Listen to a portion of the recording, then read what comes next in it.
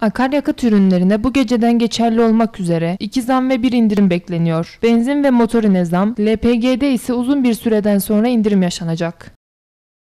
Petrol fiyatlarında yaşanan değişim nedeniyle akaryakıt ürünlerinde de indirim ve zam haberleri peş peşe geliyor. Sektör temsilcilerinden alınan bilgilere göre bu geceden geçerli olmak üzere benzine 56 kuruş ve motorine ise 70 kuruşluk bir zam bekleniyor. LPG'ye ise uzun bir aradan sonra 42 kuruşluk bir indirim yapılacak. Nevşehir'de bazı akaryakıt istasyonlarında satılan motorinin litre fiyatı 24,77 liradan 25,47 liraya ve 18,95 liradan satılan benzin ise 19,51 liraya yükselecek.